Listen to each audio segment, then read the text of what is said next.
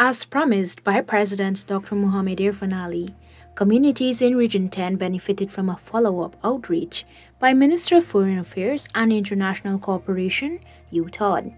Residents raised issues relating to roadways, lighting, agriculture, and infrastructure.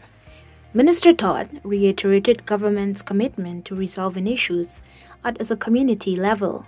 He assured that government is working aggressively to ensure that every community is urbanized. He explained too that the outreaches are aimed at ensuring the local organs are functioning in the best interest of the people.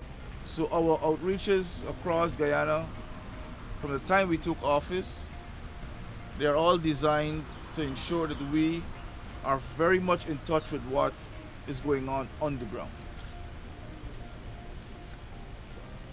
If we can make every community more prosperous, Guyana becomes more prosperous.